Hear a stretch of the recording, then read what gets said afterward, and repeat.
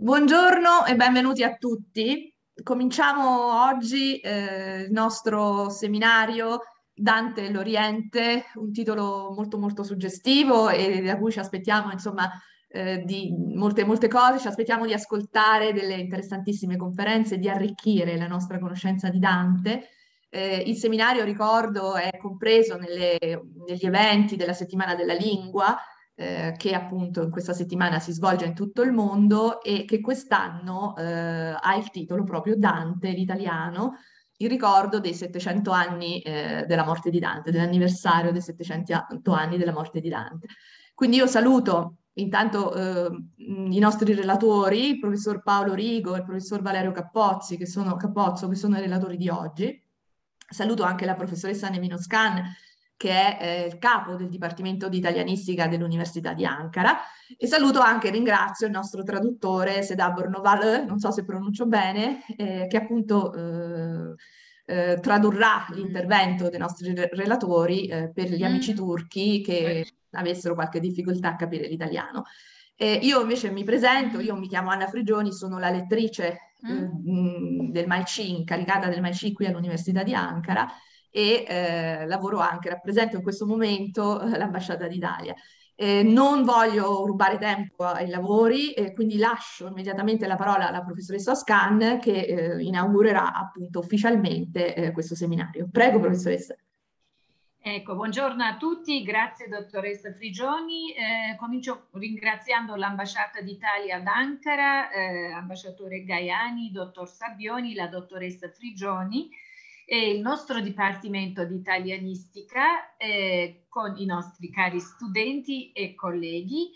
E eh, l'Istituto Italiano di Cultura di Istanbul eh, con cui mano in mano siamo riusciti a organizzare gli eventi di questo anno, di questo anno importante perché è anno dantesco, oltre a, a essere diciamo un, un, evento particolare perché la settimana della lingua, in questa settimana abbiamo inserito questo bellissimo programma che credo che sia molto importante anche per i nostri colleghi studenti, insieme con i nostri colleghi italiani dell'Università di Roma 3, eh, professor Paolo Rigo, professor Luca Marcozzi, e poi eh, con la professoressa Giulia Maria Cipriani della John Hopkins University di Roma, eh, con il professor Valerio Cappotto dell'Università di Mississippi e con la professoressa Serena Mauriello che ci parleranno eh, tra giovedì e venerdì in, questi, in,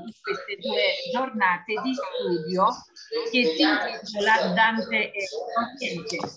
Eh, Dante e l'Oriente è un tema che interesserà non tutti perché ci darà un'altra ottica, eh, un altro modo di considerare grande, questa grande opera dantesca e per questo sono anch'io molto curiosa, anch'io sono molto curiosa di ascoltare i nostri eh, relatori. Ecco, prego la parola a voi.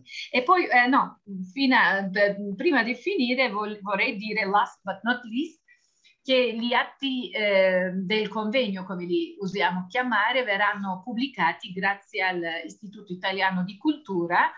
Eh, dottor Schirmo ci ha eh, reso possibile proprio questo atto con cui eh, ovviamente eh, quando, una volta che verranno pubblicati gli atti tutti avranno accesso a leggerli, a riconsiderarli, a rivalutarli e poi eh, sui eh, canali, ehm, diciamo, sui, eh, su tutti i canali dell'istituto, dell'ambasciata, su YouTube potrete vedere ancora eh, questi bellissimi eventi, eh, queste relazioni. Grazie e iniziamo i lavori. Prego, la parola a eh, professor Rigo, credo, vero? Sì, sì prego. Sì, io volevo, mi, mi, permetto di intromettermi, volevo presentare velocemente il professor Rigo, che io ringrazio moltissimo perché è sempre eh, disponibile ad aiutarci, eh, non solo con la sua appunto presenza eh, e la sua professionalità e la sua competenza, ma anche proprio nell'organizzare le cose, per cui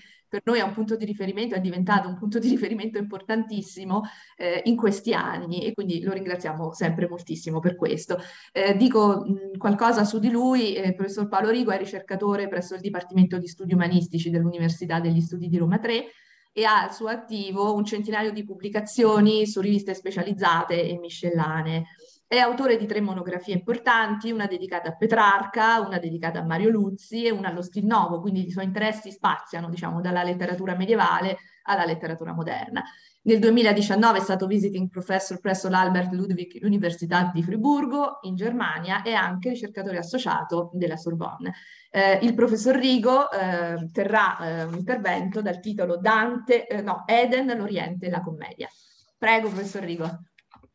Grazie Anna, grazie Nevin. Io prima di iniziare, così recuperiamo anche qualche minuto, eh, intanto eh, non posso che insomma dare la mia gratitudine, miei, comunicare la mia gratitudine, i miei ringraziamenti a ormai posso dire un'amicizia, anche sì. se negli ultimi anni un po' in lontananza, ma tutto sommato io ricordo eh, con piacere, eh, era il 2018, no? la, la, prima volta che, che, sono venuto ad Ankara e, e, devo dire, spero, insomma adesso ce lo diciamo ormai da un po', speriamo che la prossima volta sia in presenza, io sono sicuro che quando ci sarà la possibilità, tanto io quanto altri cari amici, perché tutto sommato la letteratura, come ci ha insegnato Petrarca, è fatta d'amicizia, l'amicizia in assenza. Ecco, noi speriamo che magari la prossima volta non sarà in assenza, ma sarà in presenza, eh? anche i nuovi amici come Valerio, ad esempio,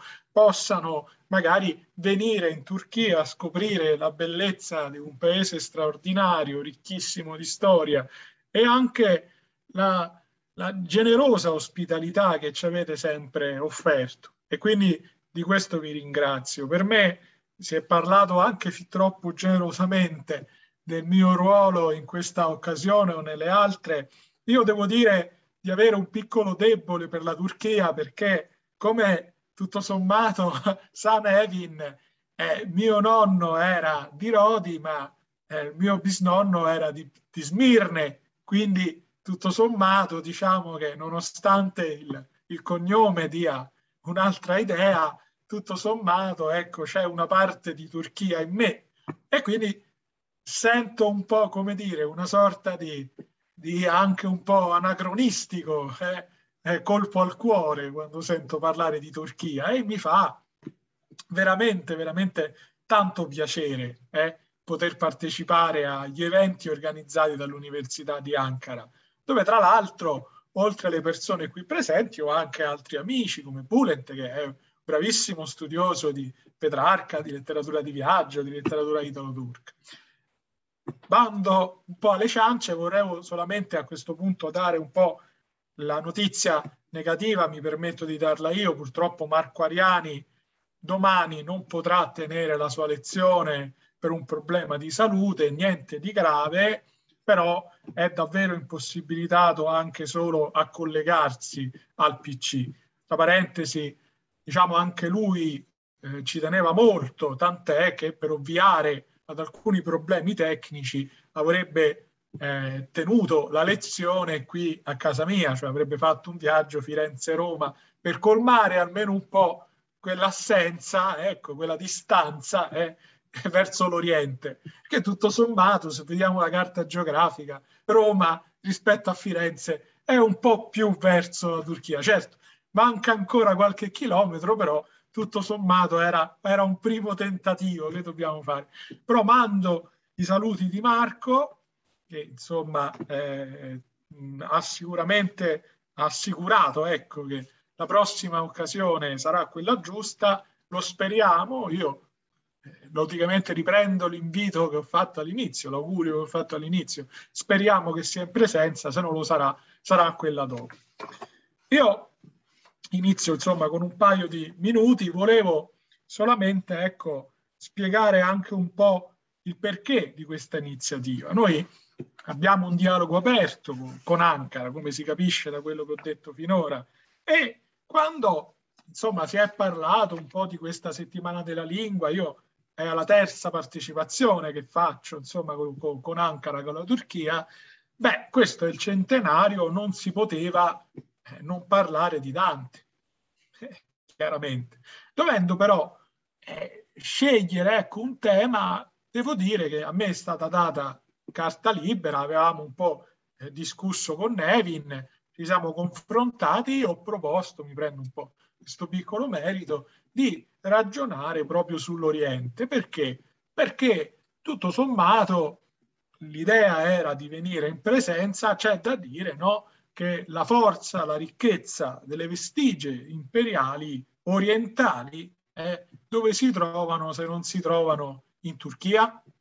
E quindi eh, l'idea era proprio questa, cioè di ragionare un po' su quello che voleva dire eh, l'Oriente per Dante, eh, l'Oriente geografico, l'Oriente immaginifico, l'Oriente filosofico e su questo eh, credo che la maggior parte delle relazioni si concentreranno. Ne avrebbe dovuto parlare Marco, ne parlerà in un certo senso Valerio, ne parlerà ancora Serena Mauriello.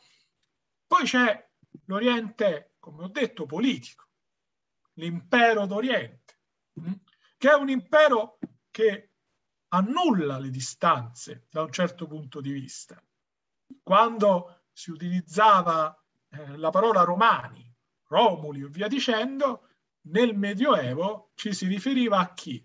Certo ai cittadini di Roma, ma anche ai cittadini di Costantinopoli, ai cittadini dell'impero romano, mm?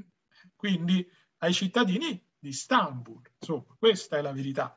Noi siamo parenti non solo attraverso gli antenati del professor Rico, ma anche a livello culturale. E questo credo che sia innanzitutto un punto soprattutto per i giorni in cui viviamo al di là del virus importante da tenere in considerazione.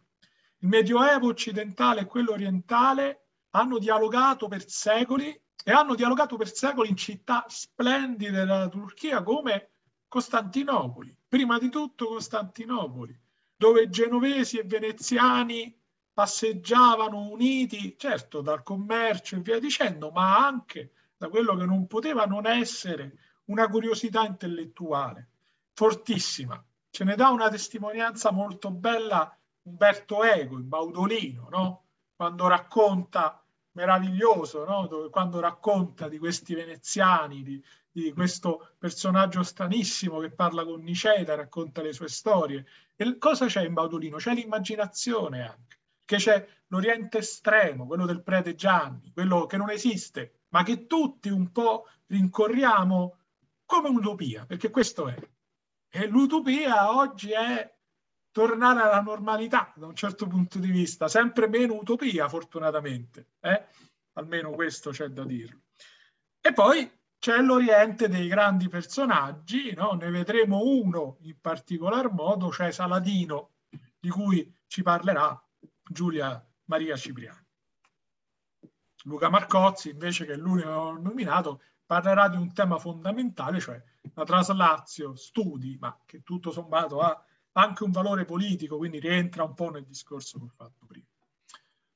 Dovendo affrontare questo discorso, io ho un po' pensato di ragionare su un piano geografico e chiederei intanto che parlo anche di darmi la possibilità di attivarmi la possibilità, ah no, la vedo adesso attiva, della condivisione dello schermo, grazie Anna, e, e quindi ho un po' dedicato questi questa mezz'ora, 40 minuti, un po' a un problema, cioè all'Oriente dantesco, inteso come, come mondo, eh, come spazio, a mio avviso più immaginifico che reale, però ecco, comunque la mia, e particolarmente a un luogo, cioè l'Eden, la mia relazione verterà su questo argomento.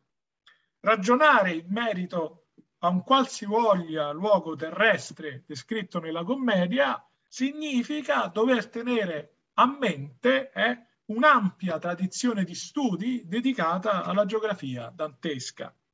Una tradizione che negli ultimi anni non posso non notare che sia cresciuta notevolmente, accogliendo tra le sue folte schiere saggi di eminenti studiosi. Soprattutto c'è una tradizione americana fortissima che studia la geografia non solo dantesca. Alla luce di questa rinnovata attenzione critica, l'interesse di Dante per la geografia appare un dato assodato, mm, per lo più innegabile. Devo però dire, essendo io tutto sommato chi è il critico? Beh, il critico, ricordo una battuta di un mio vecchio docente che scrisse un libro molto delicato, molto carino, La vocazione di Iago, riprendendo il personaggio di Shakespeare. Perché Iago, eh, al colloquio con Desdemona, diceva, Madonna, io ho un solo, un solo pregio, criticare. Dice, le, quindi la vocazione di Iago è la critica. Ecco. Quindi io criticando un po', devo anche dire che alcune proposte hanno finito, alcune proposte critiche sul tema, a mio personale avviso, per sovrainterpretare il ruolo svolto nella commedia, nelle altre opere dantesche, da questa disciplina e da quella affine della cosmografia. Io insomma, ho detto, sicuramente non è in discussione il fatto che Dante avesse una buona padronanza dell'argomento e dei trattati relativi al genere.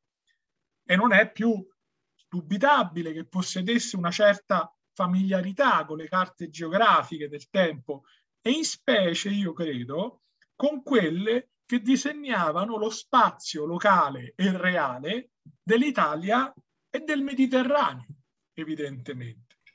Però bisognerà anche ricordare che la raffigurazione del globo nel poema non risponde a norme strettamente riconducibili alla disciplina geografica come la intendiamo noi, cioè intesa quale scienza di fatto. Se volessi fissare un principio di studio, io credo che per Dante e per il mondo medievale esistesse un sistema geografico binario e che quel sistema vada comunque sempre rimesso quando si parla di regole retoriche precipue. La prima componente di questo binomio è evidentemente rappresentata dallo spazio quotidiano, compreso nelle regioni italiane del centro-nord, di cui Dante ha un'esperienza diretta, non fosse altro perché da esiliato ci ha vagato, e anche il mare appunto dicevo mediterraneo che evidentemente poteva conoscere attraverso qualche carta nautica. Si tratta di uno spazio fisico che l'autore non manca di menzionare con puntualità nella commedia. Per esempio, nel nono canto dell'Inferno, quando deve cercare un termine di paragone per il tremendo spettacolo delle tombe aperte degli eretici che gli si stagliano davanti agli occhi, eccolo ricorrere alla vastissima necropoli di Ar e a quella meno nota di Pola. Mm? E quindi, impiegando l'ideografia, indirettamente traccia i confini della penisola italica.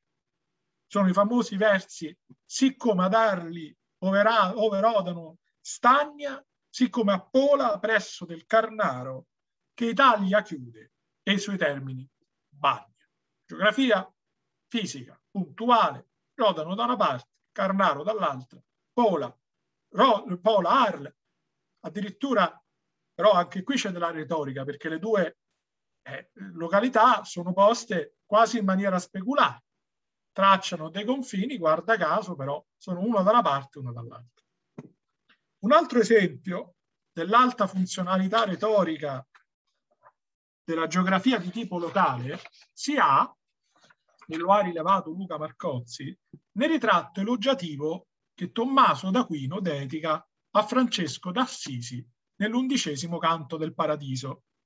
Panegirico del Domenicano è funzionale a livello retorico per sottolineare la caratteristica principale del fondatore dell'ordine francescano, la semplicità, hm? l'umiltà di Francesco.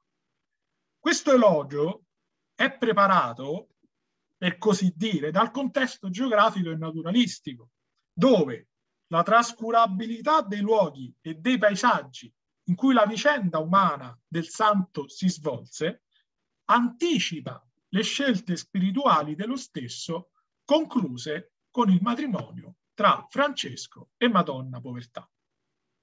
Anche in questo frangente le precise coordinate spaziali fornite al lettore, d'ordine oro, quindi montano e idrografico, e proposte sotto forma di perifrasi, sono molto puntuali.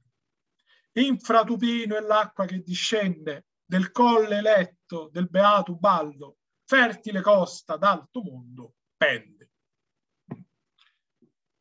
Qui c'è un valore simbolico. I luoghi sono umili perché Francesco era umile. Geografia parla con la vita di Francesco. Però c'è anche da dire in aggiunta perché dovrebbe essere diverso. Voglio dire, se Dante si fosse lasciato ad andare a inserti immaginifici su uno spazio evidentemente conosciutissimo, qualsivoglia lettore umbro avrebbe potuto contrabbattere che Dante si sbagliava e che la ricostruzione di quel contesto storico-spaziale dove era nato e cresciuto il santo di Poverello d'Assisi non era corretta. Quella di Dante è dunque una chiara strategia dialettica. Mm? Spazio noto si piega a ragioni retoriche, simboliche, ma non immaginifiche. Non può essere altrimenti. Mm? Sono invece diversi i casi del secondo binario, dicevo, dicotomia, uno lo spazio noto, l'altro quello non noto. Quelli relativi, cioè alla geografia planetaria che Dante poteva conoscere solamente attraverso le raffigurazioni, ora sì immaginifiche, fornite dall'autorità di eruditi e filosofi a lui precedenti. Un ricco panorama, a suo modo topico, che adunava interpretazioni del mondo diverse tra loro, come quelle assai celebri dei vari mappamondi, e adesso me ne faccio vedere qualcuno, eh, ATO. Mm? Vedete? Questa è la mappa di Erfurt che è famosissima e che è andata perduta, insomma. La vedete? Si vede? No, non si vede nulla. Allora aspettate un secondo. Proviamo così. Ora si vede qualcosa? Questa è una mappa mundi torinese, mappa mundi Beatus. Questa che segue è la mappa di Erfurt, che è l'Eberrima. Vedete come c'è questa T che è formata diciamo dalle acque e la O è lo stesso mondo. Questa è un'interpretazione simbolica del mondo. Si discute molto, ma loro davvero pensavano che il mondo fosse piatto? No, loro pens probabilmente pensavano che il mondo fosse sferico, però ripreso dall'alto dava questa immagine. Mm? D'accordo? Ma è topica anche un altro tipo di interpretazione del mondo, meno famosa, quella del mondo tabernacolo, per esempio, ipotizzata da Cosma Indico Pleuste nella sua topografia cristiana del V secolo e che oggi in Italia è conservata in due preziosi manoscritti miniati, uno laurenziano, l'altro vaticano, entrambi risalenti al 1100 circa. E ve lo mostro. Eccola qui. Questa, vedete, è un mondo, diciamo, tutto sommato, eccolo qui, mondo tabernacolo, cioè il mondo è in questa specie di scrigno, c'è questa montagna che separa Occidente e Oriente e il movimento del Sole. Mm? D'accordo? Questa montagna è, tra l'altro toccava le sfere celesti, vedete sempre nel manoscritto tutto sommato questo in greco, eh? quindi vedete che la rappresentazione è simile a quella dantesca, eh? ma è improbabile, anzi se non impossibile, che Dante abbia avuto una qualche nozione pur solamente visiva dell'opera di Cosima, questo dobbiamo dirlo. Io dimostro solo per farvi vedere che l'idea era diffusa. Eh? Questa bella illustrazione in particolare attesta come l'idea della divisione del mondo in emisferi e la possibilità che esistesse una montagna altissima circondata dall'oceano, dal mare oceano, e qua si legge poco però, oceanon, questo è l'oceano, hm? che dritta si staglia fino a toccare il cielo, e qui lo rivediamo da questa immagine qui, non è poi così innovativa. Notate addirittura in questo disegno come la montagna ha praticamente dei giri, quasi delle balze, come purgatorio dantesco, tutto sommato. Questa raffigurazione conferma quanto rilevato da, da Segre e da Michel Vauviel. Secondo entrambi, l'idea in questione, quella della montagna alta nel purgatorio che tocca il cielo, dove più o meno, insomma, c'è un altro regno dell'aldilà, questa idea iniziò a diffondersi nel mondo mediterraneo a partire proprio dal V secolo d.C. Ora, il rapporto tra la tradizione culturale geosimbolica tardo medievale che Raymond Besly più di un secolo fa, assunto una prospettiva del tutto scientifica, definiva completamente futile, eh? rispetto quindi alla storia della cartografia e la commedia, è stato ben messo in luce da Brenda di Schligden, secondo cui, prepartita come la Trinità, la geografia, giungo io, planetaria di Dante, di stampo resiano e che contempla un solo continente, è tipica delle mappamundi di Dio e delle mappe mundi enciclopediche del XIII secolo, quello che più o meno vi ho fatto vedere. Dante guidato dalla tripartizione geografica del mondo, distingue i territori dell'ex impero romano, le sue zone di confine e l'area al di là delle zone di confine in India e Etiopia. Ecco, per questioni come il Veio di Creta, la montagna del Purgatorio, per esempio, il contributo dantesco alla geografia si manifesta su un piano esclusivamente immaginifico o simbolico e ciò va ribadito con forza, perché altrimenti dovremmo pensare che Dante pensa che a Creta ci sia un gigante di ferro. Certo, andranno comunque valorizzate le differenze tra Dante e quella tradizione a cui si fa riferimento nel passo che ho appena citato. Sono distinzioni di non poco conto, perché c'è da dire che secondo quella geografia nell'emisfero sud, negli antipodi, no, vivevano dei mostri, degli uomini con testa di cane, degli uomini con una gamba sola, con la testa posta eh, nel grembo. Ecco, Dante non dice assolutamente nulla di ciò. Non, non c'è un solo luogo dell'opera dantesca in cui lui dà l'idea di credere no, a eh, questo tipo di, di, interpretazioni del mondo. Eh?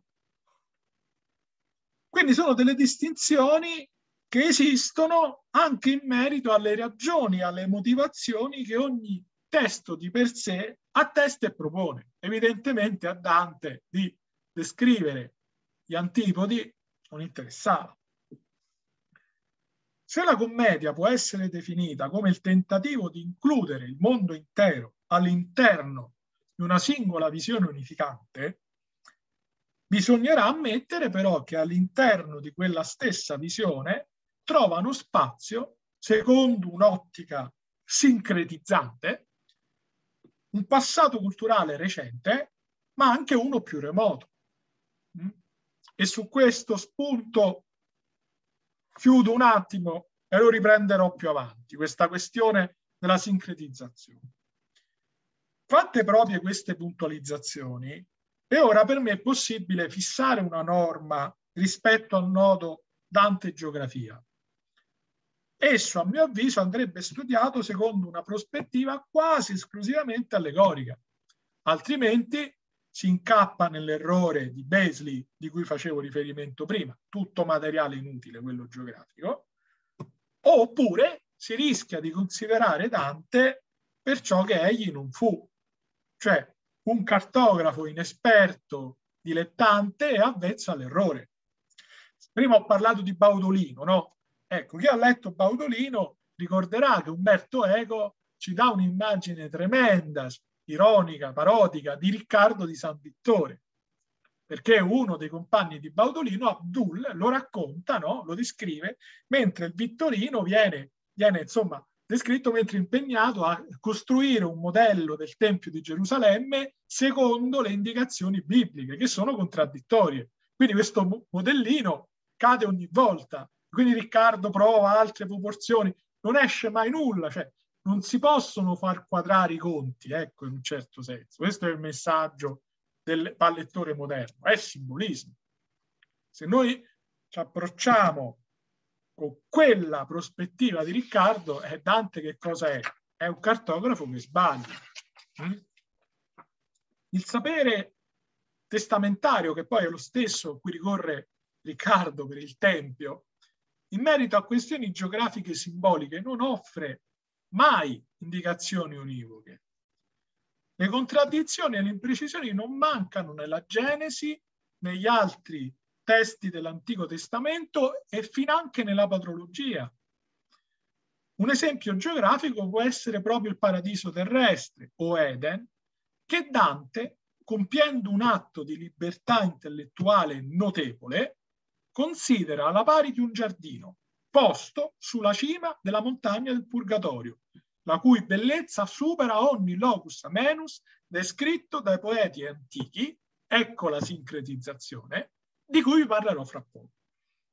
Chiudo questa premessa, però voglio dire che non credo che sia possibile presumere, lo, lo ribadisco, che le misure, diciamo, geografiche e i problemi storico-culturali affrontati da Dante rispettino perfettamente i confini degli schemi dialettici propri della, della, trattazione scientifica o di altre branche del sapere assimilabili a quelle scienze più pseudo dure al tempo. Si tratta di poesia e la poesia ha una sua retorica, ci mancherebbe, e delle sue particolarissime regole. Una di queste molto banale, di cui è cosciente anche Dante, che lo dice, dice chiaro e tondo, lo dice, io devo fare i conti anche con le parole che uso. Mm? Una regola ba basica, la quantità di sillabe, eh? il rispetto della concretizzazione rimica, di cui volte quasi non si tiene conto, no? Sono due costrizioni, se andiamo a pensarci. Non è che Dante può parlare a flusso di coscienza libero, deve fare i conti con le sillabe. Eh?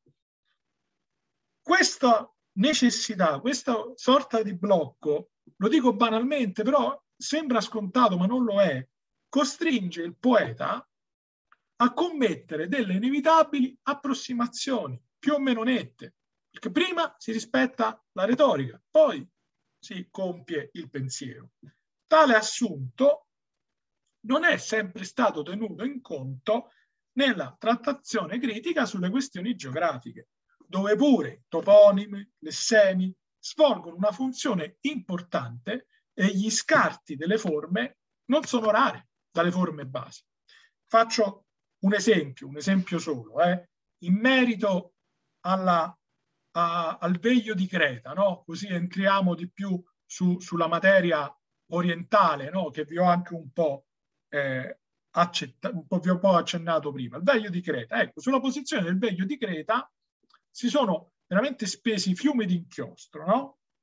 In particolar modo ne è stato impiegato molto relativamente al misterioso lessema d'Amietta.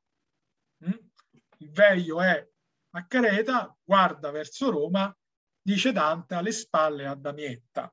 Dice perché Damietta? Mm? Ma poi tra l'altro il vocabolo topografico, le sue varianti greche e latine sono assenti, eh, hanno scritto diversi studiosi, nei dettagliati paesaggi di Virgilio, Lucano, Stazio, Ovidio, Orazio. nelle glosse o nei trattati di Mela, Solino, Sacrobosco. Insomma, non sembra possibile determinare perché Dante scelga di impiegare quella forma linguistica, perché Damietta, mh? Mm? né perché abbia evidenziato proprio questa località quale riferimento geografico per la posizione del gigante. Dentro dal monte sta dritto un gran veglio che tiene volte le spalle in ver damiata e Roma guarda come suo speglio. Eh? Perché damiata? Perché dammiata, scusate, perché dammiata. Eh, ambiguità dantesca si riflette nell'esegesi dei commentatori più antichi, che non giungono a una spiegazione univoca, ma io credo sia una questione, una risultante della polisemia, che è un carattere proprio del genere poetico, a cui la commedia va scritta con buona pace di chi pensa che la commedia sia un trattato pseudoscientifico, pseudo-cosmografico ancora. C'è uno dei, dei pochi avversari di Dante, e c'è Codascoli, che quando mette un trattato scientifico in versi, cioè la cerba, che fa? Riscrive tutta la scientifica, fin dove arriva, riscrive tutta la tutte le questioni scientifiche di Dante, perché sono sbagliate evidentemente. Ma noi non dobbiamo pensare che siano sbagliate, noi dobbiamo pensare che non siano né sbagliate né vere, dobbiamo pensare che sono poesie. Esistono perché è poesia, perché è simbolo. Questo è. La poesia è un mondo dove l'autore può permettersi di storpiare un termine o ricorrere a un altro, magari anche connesso con uno storico, al solo fine di dichiarare che quel qualcosa esiste ed esiste però soltanto nella dimensione allegorica dei suoi versi. E questo è un tratto comune alle narrazioni di viaggio antiche, categoria dove, come hanno osservato Dennis Wood e John Field, insistere che something is there is an equally powerful way of insisting that something is.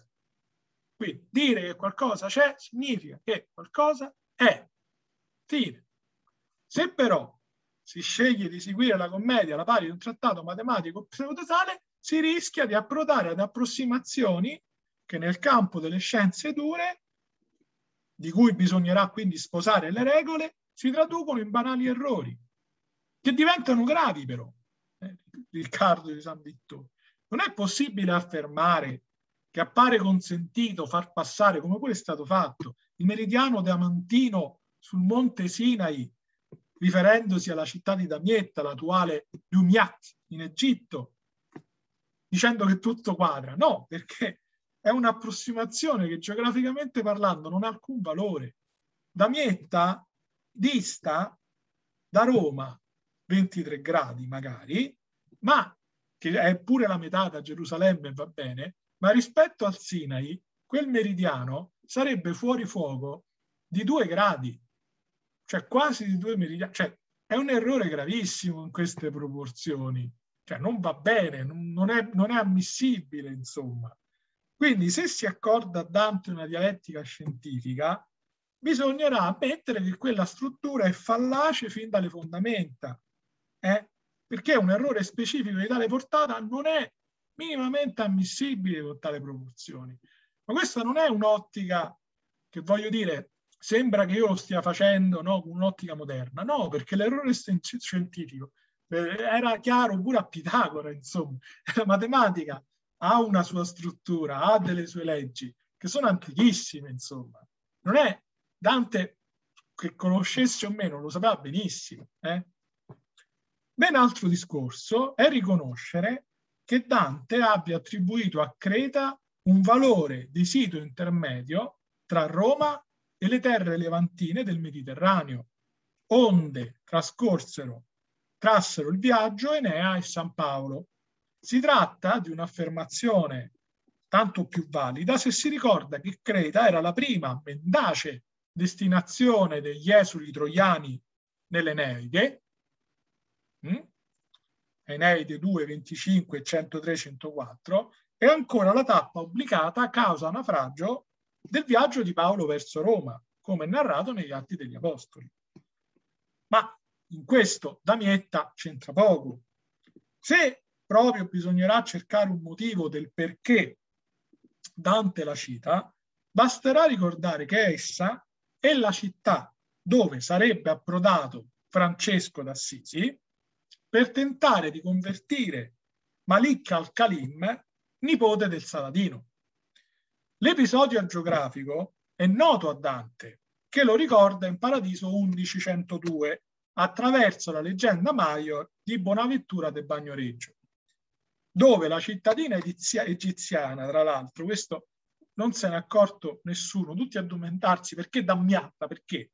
Ecco, in Bonaventura, Bonaventura nomina la città con una forma latina particolare, Damiatam, che a me sembra davvero molto simile al volgare della commedia. Mm?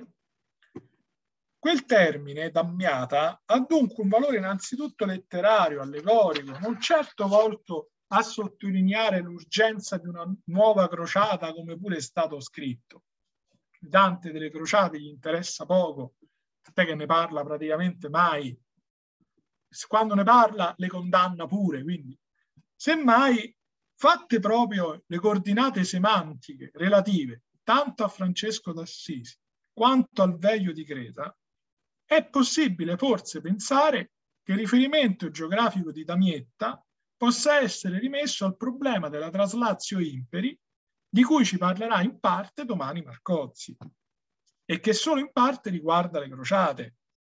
Non solo il veglio è stato tradizionalmente interpretato come una sorta di maschera parodica della questione. Eh? Scritto un bellissimo saggio Massimiliano Malavasi su Scaffale Aperto qualche anno fa.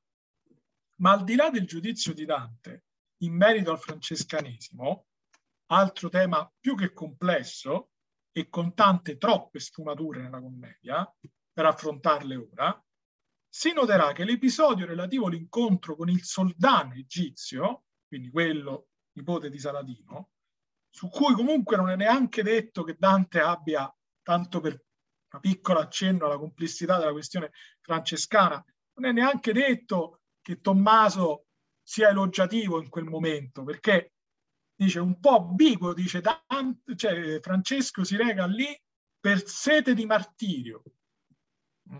Sete di martirio, cioè le, l'esagerazione del martirio, eh? non è detto che sia del tutto positivo. Comunque quell'occasione si colloca in uno degli azzardati tentativi di, di restaurazione dei regni d'Otremar, terre che in un tempo remoto erano appartenute all'impero romano, ma l'impero romano era il garante della Pax Universale cristiana, ed ecco perché Francesco, movimento culturale da un certo punto di vista, quindi di quella macchina politica che secondo Dante era l'unica l'unica in grado di garantire la pace non solo cristiana ma universale. Dunque non crociate in chiave politica, ma impero in senso universale e utopico. Tornando al centro della mia relazione, si ricorderà che in merito alla giusta collocazione della montagna del Purgatorio sono state tantissime le immagini. Il problema di dove si trovasse il monte e con esso l'Eden è però quasi del tutto assente nella tradizione esegetica più antica del poema, dove al massimo ci si preoccupa del carattere allegorico da attribuire al luogo in questione. Basterà notare che a proposito della possibile prima menzione del purgatorio in senso geografico del poema, potrebbe trattarsi della montagna intravista da Ulisse, no? Durante il folle voro, i commentatori antichi non si preoccupano di far tornare i conti. Jacopo Alighieri, nel suo commento ai versi 130-135 di Inferno 26, insiste molto sulla dimensione figurale del viaggio di Ulisse. Figurativamente favoleggiando, per lo quale figurativamente si considera. Diamo attenzione alle parole. Favoleggiando, figurativamente, figurativamente. Guido da Pisa ricorda con l'autorità di Isidoro che per lo stesso luogo, attraverso lo stesso luogo che il mondo era diviso in tre parti, Asia, Africa, Europa, e da una quarta che trans oceanum interior est in meridie. Afferma però anche che le narrazioni dedicate agli, agli antipodi sono fabulose. Cioè ancora, non c'è problema a come ci è arrivato? Perché ci è arrivato? Quanto ha navigato? Tutto favola. Lo stesso benvenuto da Imola che si concentra sull'ossimoro luce e oscurità relativi ai versi danteschi. Ma nell'Ottocento qualcosa cambia e a partire dalla pubblicazione di un breve libretto di Giovanni della Valle, ecco che iniziano a uscire fuori dei problemi spaziali. Della Valle, a proposito di quella montagna incontrata nell'ultimo viaggio da Ulisse, sostenne che essa non poteva essere il purgatorio. Ora, l'ipotesi non è del tutto sbagliata, potrebbe anche essere vera, perché in effetti Dante quell'occasione non è che dice è il purgatorio, oppure successivamente non è che dice questa è la montagna dove è arrivata Ulisse, cioè non c'è alcuna traccia, ambiguità come al solito. Ma qual è il ragionamento di Della Valle? Della Valle dice nel corso del suo itinerario Ulisse non poteva essere arrivato sino al purgatorio perché si era fermato all'equatore dove poi naufragò. Quindi non poteva essere il purgatorio perché se no il purgatorio doveva essere collegato all'equatore. Come arrivava a questa conclusione? Basandosi su un'idea folle che remando non poteva, diciamo, colmare quella distanza che viene descritta da Dante applicare la scienza alla poesia oggi ci appare un'ingenuità. Ma ci appare un'ingenuità, a me sembrano ingenue anche le risposte appena successive, tipo Scartazzini, che invece dice, no, beh, tutto sommato sono 2050 miglia. Purgatorio Cadice, 2050 miglia. Ti metti di buona lena, ci arrivi. Quindi, se Ulisse e i compagni, leggo da Scartazzini, navigarono cinque mesi o 150 giorni dopo essere partiti da Cades, Cadice, essi dovevano fare giornalmente 13 miglia di viaggio per giungere a piedi del Monte del Purgatorio. Cioè, non è che si preoccupa del problema simbolico. Dice, guarda, su 13 miglia al giorno le, le, le distanze reggono. Che ci importa, voglio dire. Non dissimili furono i calcoli di Giacomo Poletti, fondati sulla questione di acqua e terra, tesi a dimostrare che la montagna intravista da Ulisse era certo quella del Purgatorio, ma anche a dimostrare che le distanze descritte da Dante nella commedia erano un po' confuse. Cioè Dante sì, sbaglia un po' nella commedia, però nella questione è più puntuale, quindi il viaggio va bene così. Davanti a questi compiti aritmetici, con la sagacia che spesso lo contraddistinse, Francesco Dovidio si chiese se il purgatorio non è che una montagna nell'oceano, non vi si potrebbe un giorno, a furia di buoni remi e di coraggio, approdare i viventi? Giustamente, Dovidio fa una battuta logica, dice, beh, se ci possiamo arrivare, arriviamoci, insomma. Rispolverare questi accesi dibattiti non è un'operazione frivola, né mi va di andare a fare le pulci a uno studioso ottocentesco che buona pace, spero, riposi in tranquillità, magari proprio sul purgatorio. Ma questi studi, da una parte, dimostrano la passione no? che tutto sommato la commedia scatena e ha scatenato, ma dall'altra, e qui c'è un piano scientifico, a mio avviso sono utili anche per capire come la commedia è stata ricepita nel tempo. E noi da quel modo di recepirla, tutto sommato o a favore o no, deriviamo. Mm? Ad esempio, proprio sulla geografia, c'è da dire che quegli studi hanno influenzato chi? Benedetto Croce, che a proposito di quei calcoli li definì addirittura uno spreco di acume, ma insomma Croce formulò un giudizio molto complesso che però parzialmente condivisibile, attuale credo, che vorrei però recuperare per intero. Dice Croce, c'è, quel che è peggio, un preconcetto in quest'ardore di ricerche sulla topografia fisica e morale dei tre regni, che cioè tali nozioni concorrono a determinare, a far comprendere e gustare l'arte di Dante. Ma poiché la struttura che abbiamo sommariamente delineata non nasce da motivo poetico, sebbene da un intento didascalico e pratico, essa può dare solamente ciò che è nella sua natura, connessioni estrinseche alla poesia e determinate da ragioni strutturali. Ogni sforzo che si faccia per convertire queste ragioni in ragioni estetiche è sterile spreco di auguri. Naturalmente questa, dietro questo giudizio c'è la grande polemica di Croce verso Dante, cioè la struttura non va bene, di fatto vanno bene i momenti poetici.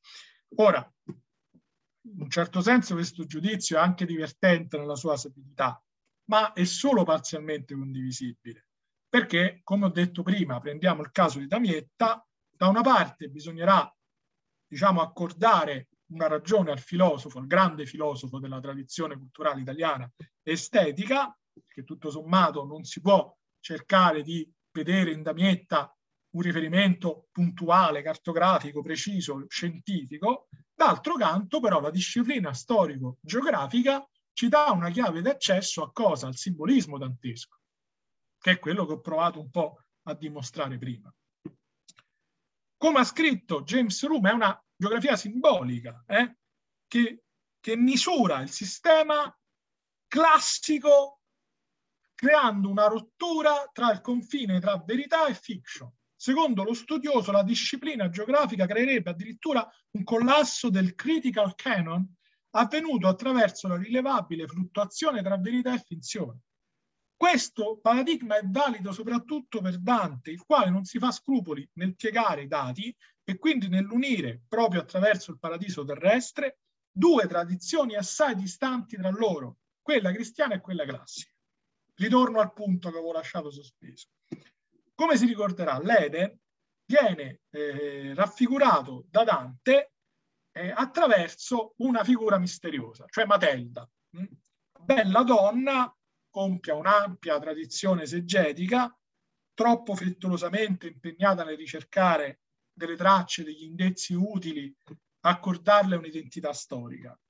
Con il passare dei secoli si è rinforzata l'idea che dietro lo spirito abitatore del bosco del Purgatorio si celasse un personaggio esistito realmente, Matelda di Canossa, Matilde di Hackebo, qualcun'altra figura.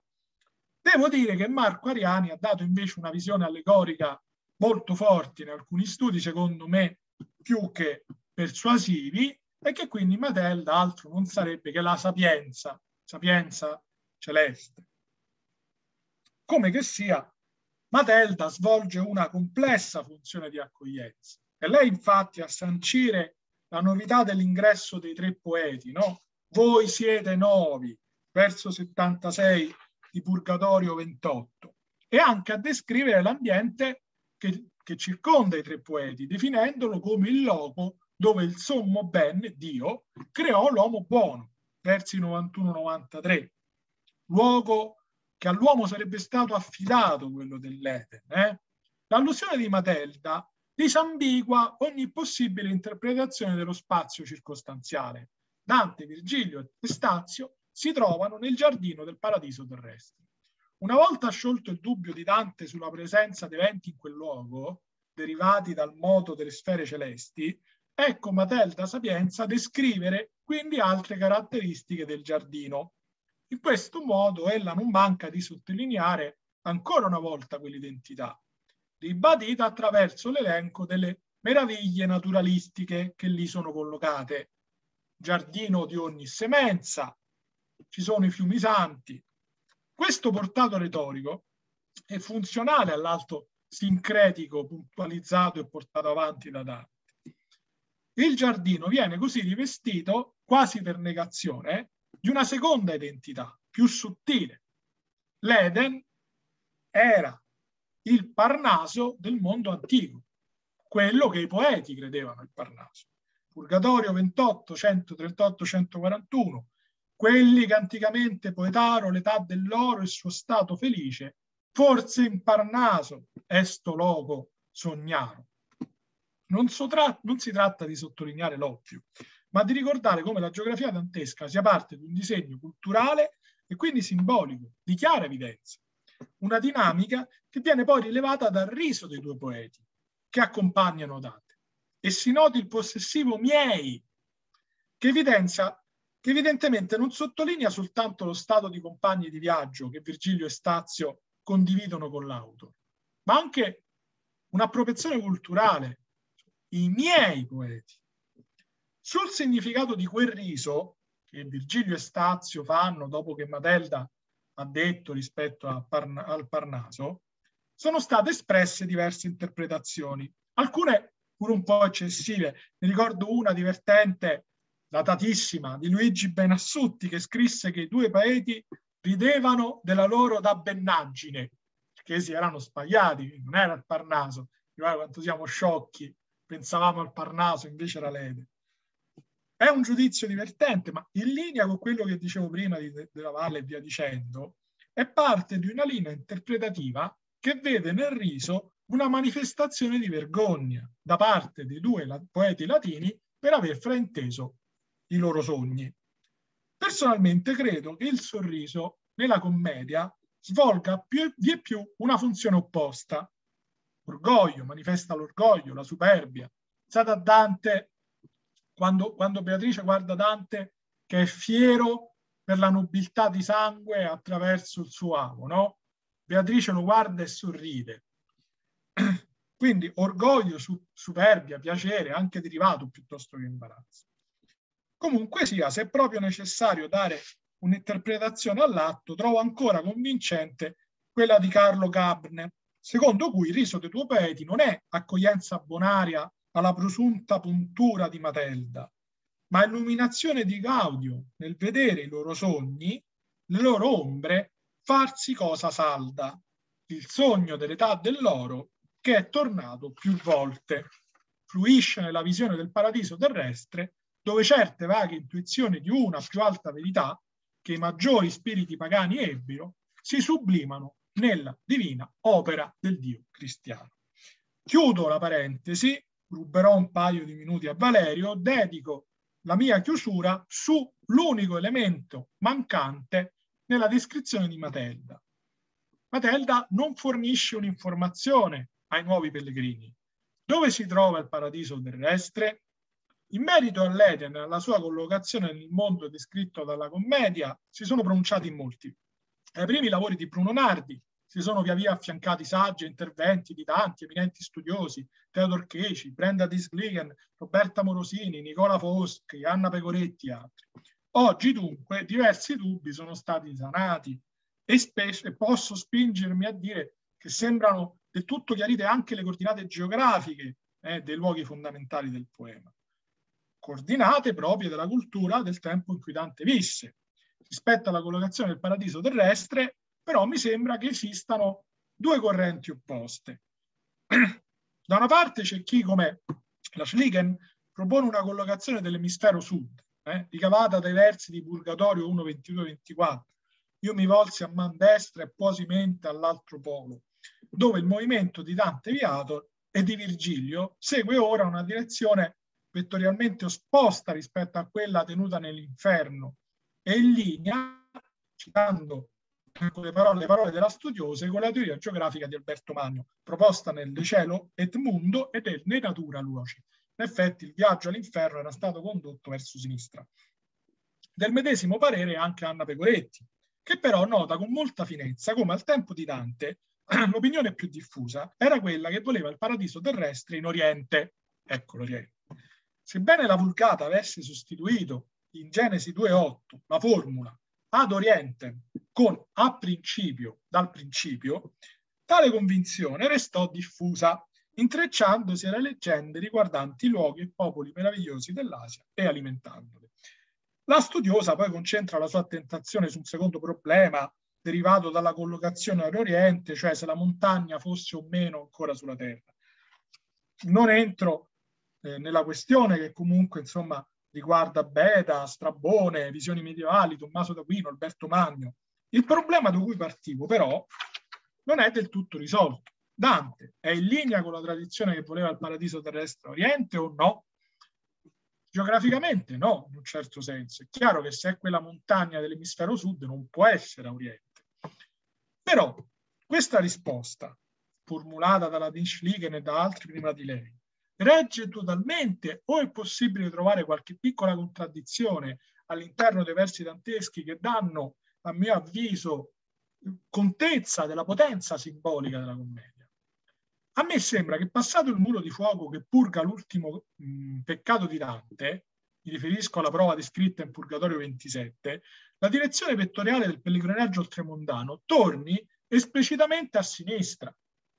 Al verso 64 del canto 27 viene scritto che la scala scolpita nella roccia della montagna, evidente ripresa del modello medievale della scala celeste che rimanda fino a Giacobbe, salia verso tal parte che io toglieva i raggi, è verso oriente. Si consideri ancora che il sogno di Lia e Rachele avviene secondo una perifrasi temporale che include in modo esplicito la parola oriente, che là logicamente vale alba, però il significato, come ci insegna Sassur, eh, rimane.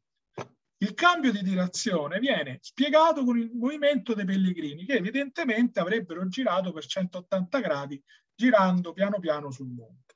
Tale asserzione è solo deduttiva però.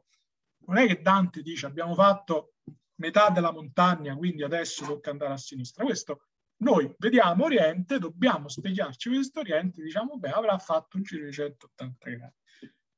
Si tratta di un utile argomento per far quadrare i conti, ma che pone in secondo piano la scelta poetica di Dante.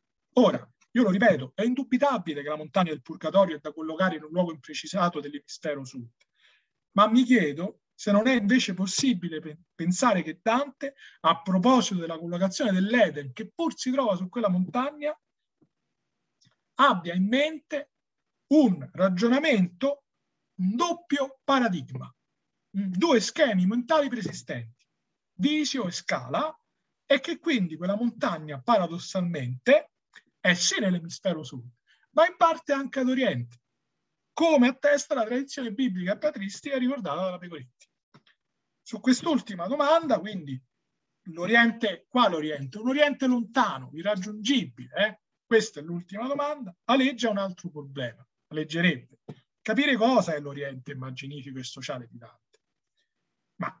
Qua non entro perché davvero ci vorrebbe un'altra ora. Sia come sia, se Voltaire poteva spingersi con l'affermare che le paradis terrestres è UE Gesui, o meglio U il io mi accontento di ricordare che la commedia è anche un racconto di viaggio, sacro, esotico, lontano, una narrazione che, come ha scritto Eric Litt, per tutti i testi edepotici antichi, è da considerare all'origine della fiction, una storia o un'immagine che non è vera o falsa, ma che ha uno scopo in sé. La commedia narra una storia dove i luoghi fisici, come l'Eden, conservano una convenzione sospesa, una collocazione impossibile tra l'emisfero sud e l'Oriente, perché sono il simbolo, prima di tutto, di un'unione culturale, un'Arcadia che è in parte illusoria e dissimile da quella reale. Pensate all'Arcadia 5, 4, 600, quell'Arcadia esiste, certo esiste in Grecia, esiste anche, no, non può esistere. Detti in Arcadia Ego, che cosa? La morte, anche quel mondo è sfiorato dalla morte, ma non è il nostro, è il sogno di un vago e disordinato rumanesimo, quello di Dante. L'utopia, come ci ha ricordato Francesco Dovidio, che non è certo raggiungibile a colpi di remi. Grazie.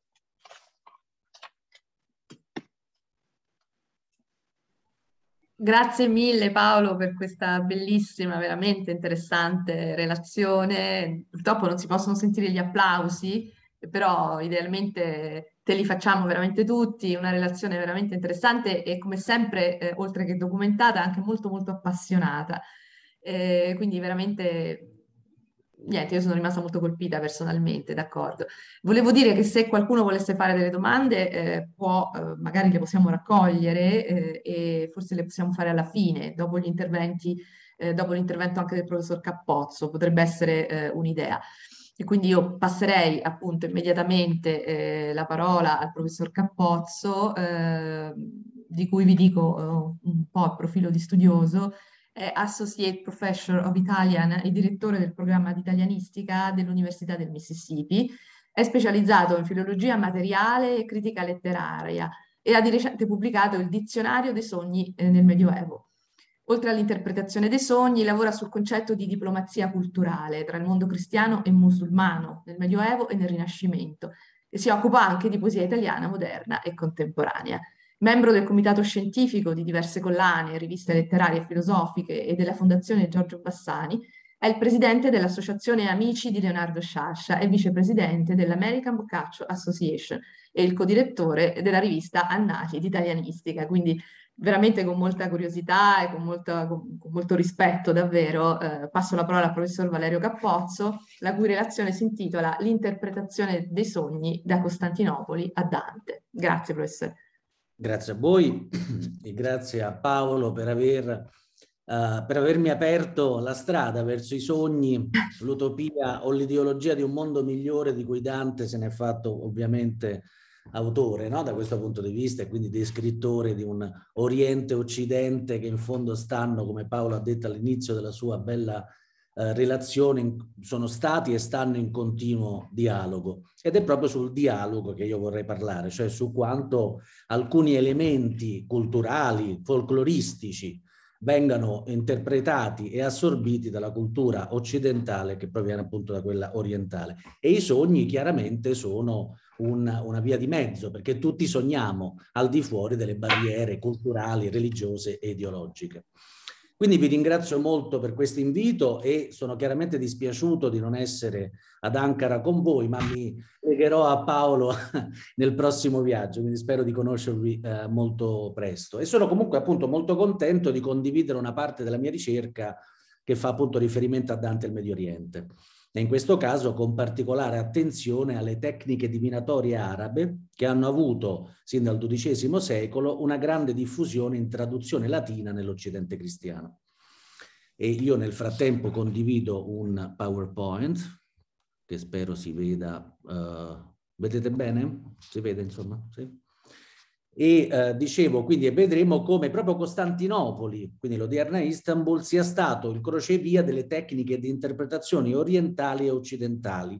Quindi un luogo di incontro e di definizione dell'onirologia moderna che nasce grazie a un turco, cioè Artemidoro di Daldi, nato ad Efeso nel secondo secolo d.C. e vissuto in Lidia. Nella sua opera enciclopedica in cinque libri, cioè l'Onirocriticon, o in italiano il libro dei sogni, come vedete sulla slide, Artemidoro riunisce i sogni più comuni grazie alla sua esperienza di viaggiatore per l'Asia Minore, il Medio Oriente, la Grecia. E non si limita a interpretare il significato dei sogni più comuni, ma distingue la visione onirica da quella illusoria, i sogni diretti da quelli simbolici e suddivide i sogni in categorie secondo la loro natura e i loro effetti tra sogni falsi e sogni divini. Nello stesso momento spiega la concordanza dei sogni con gli elementi naturali, il genere maschile o femminile del sognatore, il tempo del sognare e fornisce, infine, una guida precisa sulle modalità di interpretazione. È importante distinguere da subito tra onirologia, cioè la disciplina che ha come soggetto lo studio dei sogni, L'oniromanzia di origine popolare, faccio un esempio, la smorfia napoletana per capirci, e cioè la divinazione basata sui sogni, e l'onirocritica, ovvero la scienza dell'interpretazione dei sogni e campo di discussione del potenziale rivelatore delle immagini notturne. La divisione dei sogni fatta da Artemidoro in cinque categorie, vedete in basso di questa slide, che sembra complessa ma in realtà spero non lo sia o comunque concentra e riassume secoli di onirocritica e di oniromanzia come vedete. Comunque partiamo dal basso insomma e così saliamo come la scala di Giacobbe, appunto ricordo le ultime parole di Paolo. Eh, dicevo, eh, la divisione dei sogni fatta da Artemidoro in cinque categorie di falsità o veridicità viene introdotta nel IV-V secolo nei commentari di Calcidio al Timeo di Platone e di Macrobio proprio al Somnium Scipionis di Cicerone. Quest'ultimo è il testo su cui l'onirocritica medievale si basa per avviarsi allo studio del fenomeno onirico. I sogni, come vedete, sono distinti in fantasma, cioè altrimenti definiti incubi, che avvengono in uno stato intermedio tra sonno e veglia e si presentano attraverso immagini mostruose. Sono dunque falsi. Dopodiché abbiamo, come vedete, l'illusorio insomnium, dove si crede di realizzare un desiderio indotto dalle aspettative del sognante, che come tale svanisce al risveglio. Anch'esso falso. Invece la categoria ambigua, come vedete sulla slide del somnium, è la più usata in letteratura, perché contraddistinta da immagini velate, la cui ambiguità può essere sciolta grazie alla conoscenza simbolica del sognatore o, per la letteratura, del lettore. La visio, saliamo sempre su verso il più alto grado di veridicità, quindi la visio, ovvero la chiara manifestazione del futuro. E infine abbiamo l'oraculum, la quinta categoria che occupa il grado più alto di veridicità e si manifesta in uno stato ambiguo tra sonno e veglia, dove la profezia è pronunciata da personaggi autorevoli, come nel caso dello stesso Scipione l'Emiliano, nel Somnium Scipionis, di San Paolo, rapito al terzo cielo, di Maometto nel libro della Scala, o appunto nella Divina Commedia di Dante Alighieri. D'altronde i sogni e le visioni contraddistinguono, sappiamo, le religioni ebraica, cristiana e islamica fondate sul principio di rivelazione divina. Mm. Chi è capace di interpretare i messaggi inviati dalla divinità sarà considerato l'eletto, cioè il profeta, e avrà il compito di riportare per iscritto la propria esperienza mistica. Ancora una volta San Paolo, Maometto e Dante, per esempio. La scienza dell'interpretazione dei sogni e la pratica popolare oniromantica, diffuse nei paesi arabi come nell'Occidente latino, rispettano l'origine classica dell'onirocritica aristotelica e platonica, concentrata sin dall'inizio sull'indagine delle cause fisiche e intellettive dei sogni e la loro qualità prognostica. I sogni nel Medioevo sono identificati secondo diverse teorizzazioni che ne analizzano le qualità divinatorie, distinguendoli, come abbiamo appena visto, tra sogni falsi e quelli veri. Durante l'epoca patristica e quindi nell'Alto Medioevo si comincia a valutare la responsabilità morale del sognatore e si ragiona su quale modo e in quale misura l'uomo possa fare esperienza durante l'attività onirica di una mistica compenetrazione tra il mondo terreno e il divino. Per fare degli esempi, nel De Anima di Tertulliano il sogno viene considerato come vero e proprio atto conoscitivo, in cui l'uomo può arrivare a Dio o essere ingannato dal diavolo nel momento in cui l'anima, nel sonno, si libera dal peso del corpo e quindi è più adatta all'elevazione. Come atto conoscitivo e rivelatore, Sinesio di Cirene nel De Somnis ritiene che ognuno dovrebbe essere in grado di, di interpretare i propri sogni. E dal punto di vista della scolastica, Sant'Agostino, nel De Genesi ad Litteram, distingue tre specie di visioni, corporale, spirituale, intellettuale, che sono concomitanti tra di loro ai fini dell'intuizione che avvia all'interpretazione dei sogni. Gregorio Magno, per esempio, differenzia nei morali Niob e nei dialoghi, dialogi le diverse tipologie di sogni, dagli illusori o demoniaci ai rivelatori e quindi divinatori, mentre Isidoro di Siviglia, nelle sentenze, avverte della pericolosità demoniaca di alcuni sogni che sono generati da pulsioni fisiche rilasciate dal corpo durante la, la, la notte, cioè quando la mente non è controllata dalla ragione e protetta dalla morale. Diversi sono i testi oniromantici che circolano, circolano nell'impero bizantino, come libri da Strampsikos. Io, vedete, sto seguendo un po' la slide, eh, quindi vi, lascio ritrovarvici all'interno. E dicevo quindi nell'impero bizantino uno dei primi libri dei sogni è quello della Strampsikos e quello del patriarca di Costantinopoli Niceforo, così come quelli in ordine alfabetico generalmente attribuiti a Giuseppe e a Daniele. Daniele è il profeta biblico che con le sue interpretazioni dei sogni del re Nabucodonosor viene scelto come autore del Somniale Danielis, ovvero il libro dei sogni di Daniele profeta, il prontuario che diventa la chiave dei sogni più diffusi e più consultata durante i secoli, anche senza il riferimento esplicito al profeta, per esempio la censura ecclesiastica leverà il titolo perché non vuole ovviamente che si affini, che si associ, voglio dire, un libro dei sogni a un profeta biblico. Nel XII, secolo, come dicevamo prima, vengono proposte nuove teorie di interpretazione e l'onirocritica acquista un maggiore spessore scientifico grazie all'integrazione di dottrine arabo-islamiche, ovvero orientali. Si presta quindi attenzione alle condizioni fisiche del sognante, a quelle meteorologiche, alle congiunzioni astrali, alle indicazioni temporali e quindi si interrogano scienze quali la medicina, l'astronomia, l'alchimia e la geomanzia per interpretare un processo naturale in rapporto alle condizioni interne ed esterne al soggetto. Mi permetto una veloce parentesi sulla differenza della psicoanalisi freudiana che invece concentra l'analisi dei sogni su una proiezione interna della simbologia del vissuto di ognuno di noi, mentre nel Medioevo, diciamo, o comunque nella storia pre-psicanalisi, si tendeva a proiettare all'esterno e quindi a cercare la simbologia delle pulsioni interiori attraverso gli elementi esterni appunto. Questa tradizione ovvero quella arabo-islamica che porterà altre scienze, come abbiamo detto, medicina, alchimia, per esempio, per l'interpretazione dei sogni, questa tradizione è accolta e sviluppata nella tradizione in latino del libro dei sogni di Ahmed ibn Sirin, fatta da Leo Tuscus proprio a Costantinopoli nel 1176, e in cui vengono considerati le tradizioni indiana, persiana ed egiziana di interpretazione.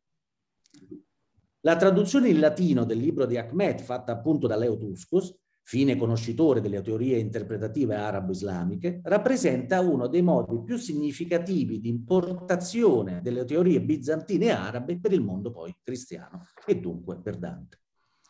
Nel prologo di questo libro, di cui vedete sia l'edizione a stampa che manoscritta, di un manoscritto riccardiano 859 qui di Firenze, nel prologo il traduttore italiano, che è di Pisa, Leutuscus, afferma che dopo aver faticato a lungo per trovare delle interpretazioni dei sogni che fossero in qualche modo esaustive, gli fu regalato il libro dei sogni di Ahmed, che analizza le visioni secondo le tradizioni, abbiamo già detto, indiana, persiana ed egiziana.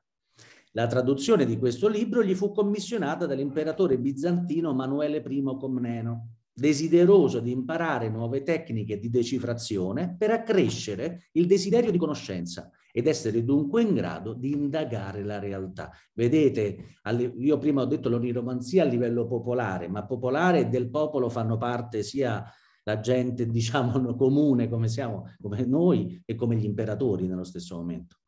Quindi supera qualunque classe sociale l'interpretazione dei sogni. Con questa finalità, cioè il desiderio di conoscere la realtà, Leutuscus indica gli elementi che ritiene più importanti affinché l'imperatore possa imparare da sé e interpretare i sogni e dunque a indagare il vero sperimentando il desiderio di sapere che, come sottolinea, viene accresciuto dai sogni.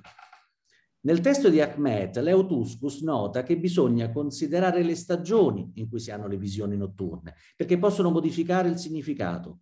Così come sono da considerare anche le fasi della Luna e la rotazione delle costellazioni durante le ore della notte, per calcolare le quali si devono conoscere le basi dell'astrologia e i simboli alchemici associati ai pianeti. Sto praticamente parafrasando quello che vedete sulla slide a destra, cioè l'introduzione manoscritta in questo caso del codice riccardiano.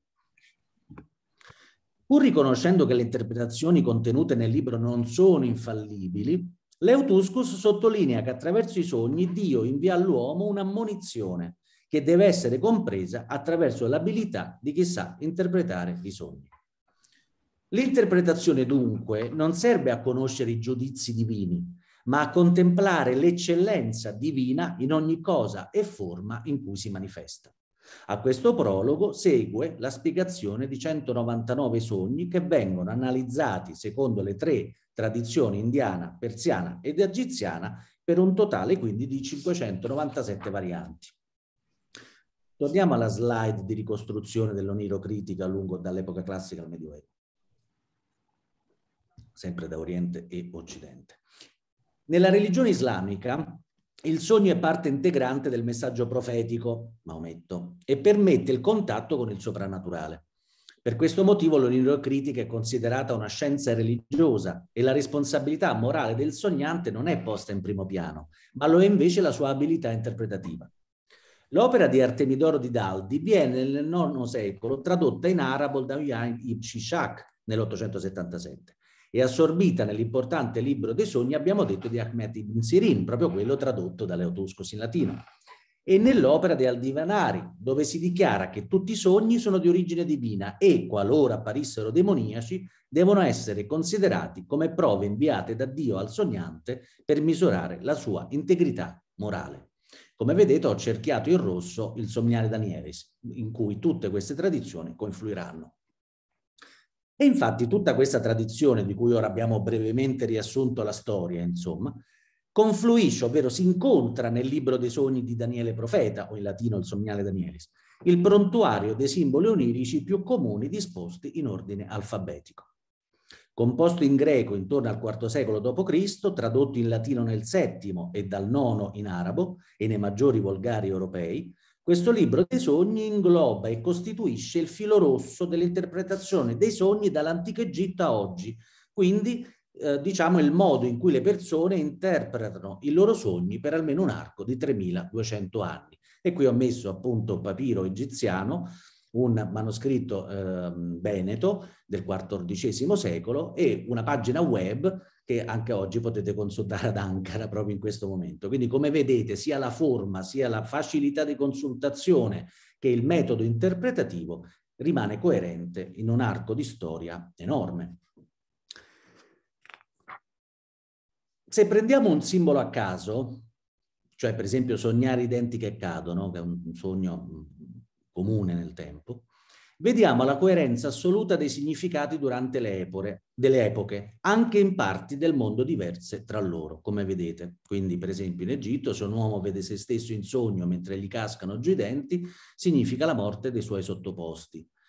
Dentes vado nell'undicesimo-dodicesimo secolo per fare un salto, dentes ibi cadere dei parenti poseio saliquis morietor significa, Faccio un altro salto per l'edizione a stampa del XVI secolo, denti tutti perdere significa morte dello amico o parente, vado alla smorfia napoletana nel XVIII secolo, sognare dente che cade, perdita di persona cara 13. Ecco la grande novità, l'aggiunta di un numero per rendere i sogni anche fruibili tra gli analfabeti, coloro che non potevano appunto aprire libri dei sogni, ma che attraverso un numero potevano memorizzare il sogno e giocarlo sulle ruote della fortuna, cioè le ruote dell'otto. Nel 2021 ancora una volta, dente che cade, perdita di persona cara, con una minima variazione nel numero. In questi secoli di storia, oltre a mantenere le tradizioni del passato e a predisporre quelle del futuro, si assiste a un graduale potenziamento delle tecniche interpretative grazie soprattutto all'apporto dell'onirocritica prima bizantina e poi araba. E si assiste anche a un processo di riduzione, di semplificazione dei significati, Paragonando il significato di alcuni simboli presenti in Artemidoro con quelli del libro di Ahmed e del Somniale Danielis, notiamo una progressiva riduzione delle varianti del simbolo e della sua interpretazione. E quindi, come vedete, Artemidoro di Daldi, ah, leggo solo quello che ho messo in grassetto, a seconda dunque del dente che uno perde sarà privato della persona corrispondente, ma prima spiega che cosa vuol dire. La bocca significa la propria vita e quindi i denti incisivi, per esempio, sono le persone più importanti, i genitori, per esempio, e così via via le persone più laterali. Quelle sotto le persone di, di una importanza inferiore, eccetera. Quindi la caduta di uno di questi può significare la morte. Ahmed cosa fa? Lo stesso ragionamento, quindi se sogna se uno sogna che uno di questi denti cade, il parente più prossimo muore, ma lo sta facendo appunto a, a secondo la tradizione indiana prima e poi uh, persiana ed egiziana con stesso significato. Ma il sognare Danielis, senza fare troppi giri di parole, arriva direttamente al significato. Questo percorso di semplificazione è efficace dal punto di vista consultativo e mnemonico, ma non riduce l'intensità interpretativa che gode comunque di diversi livelli di lettura. Ups.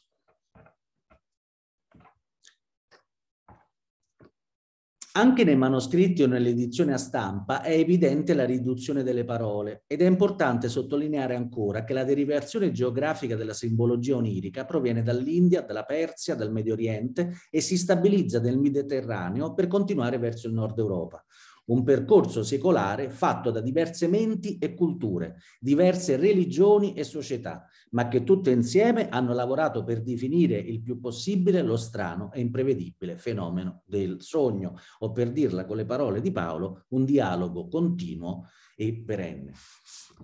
E fruttuoso, aggiungerei. No, scusate. Costantinopoli, come vedete l'ho messo in un rosso un po' più chiaro, Costantinopoli è il punto d'incontro di queste tradizioni grazie al lavoro di Leo Tuscus e di altri interpreti, come per esempio Pascalis Romanos, che compone Liber Tesauri Occulti sempre a Costantinopoli. Ma quali simboli contengono l'opera di Artemidorio, di Achmet, del Somniale Danielis? Contengono i simboli più comuni.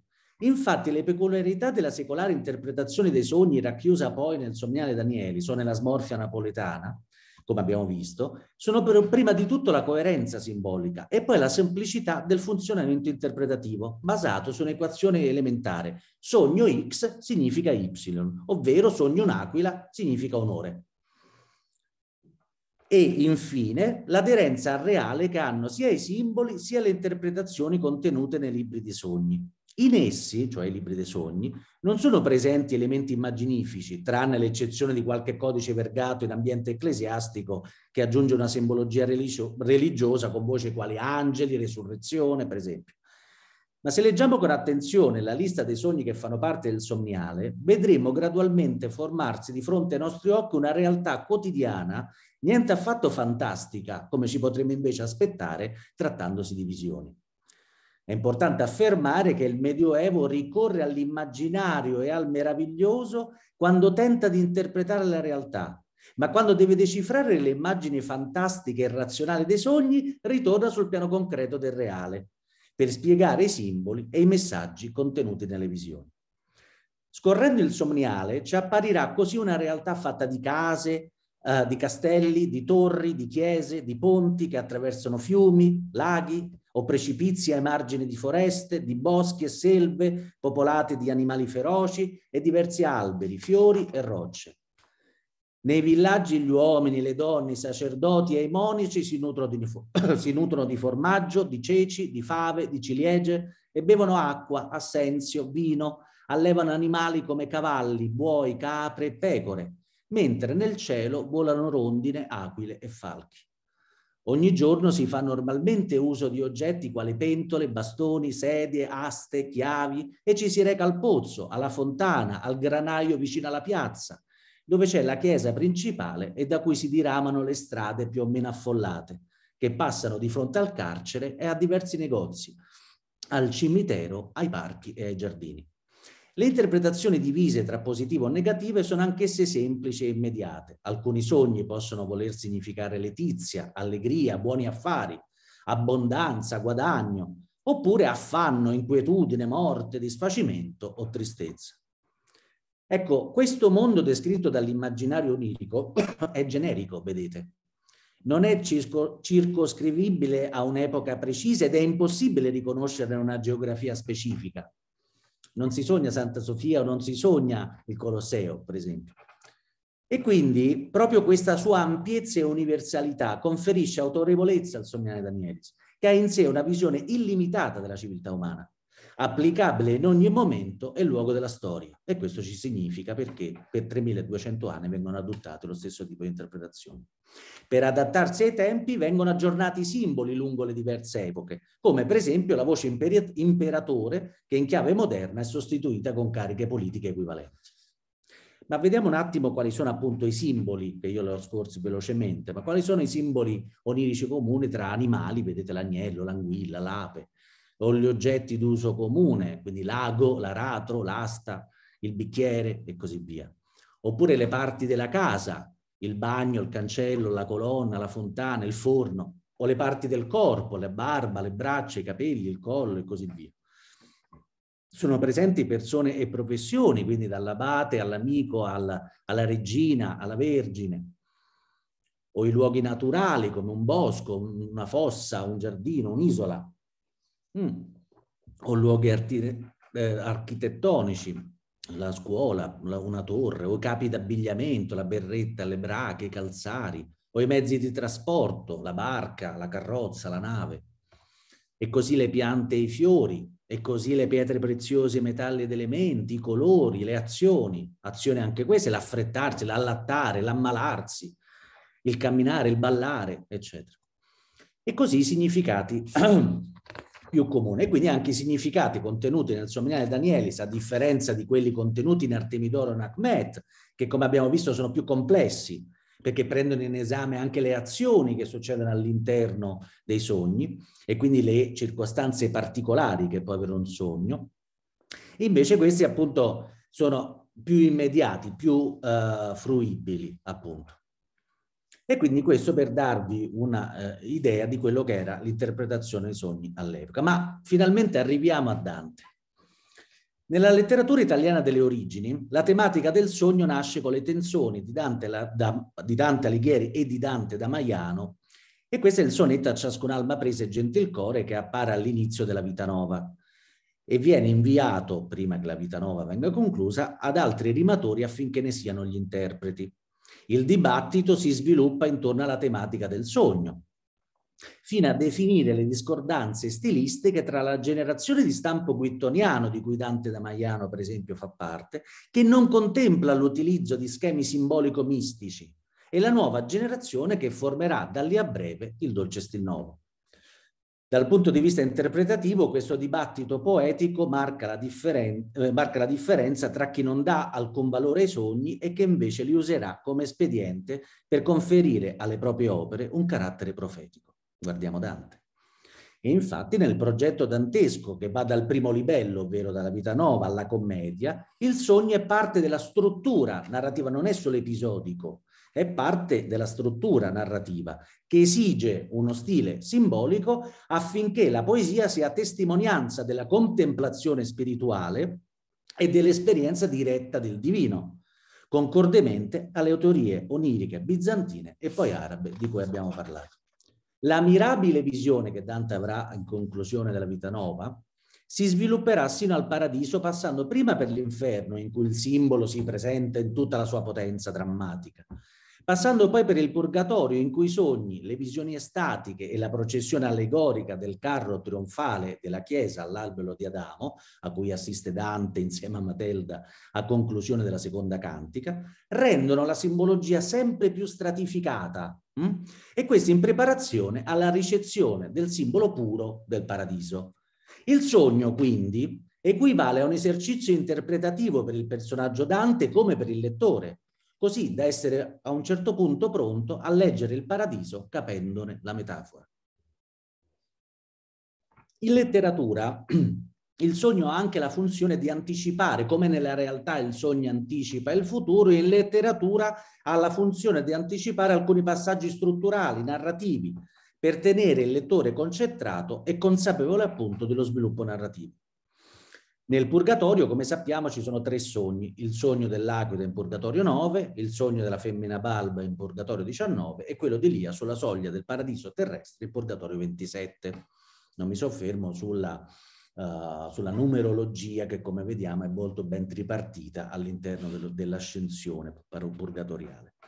Nel purgatorio l'unica cantica in cui chiedo scusa, nel purgatorio, essendo l'unica cantica in cui è presente il concetto di tempo, e quindi dove la, la notte succede al giorno, vediamo come Dante utilizzi le conoscenze astronomiche per inquadrare gli argomenti dei sogni e i simboli provenienti dal somniale Danielis per rendere immediatamente comprensibile la lettura del testo a tutti, proprio perché tutti sognano. Nel primo sogno purgatoriale, che avviene all'alba, rispettando le teorie secondo le quali dopo la digestione possono manifestarsi i sogni eh, veritieri, un'aquila rapisce eh, il personaggio in cielo ed essa è figura del viaggio ascensionale che il, che il pellegrino sta per intraprendere.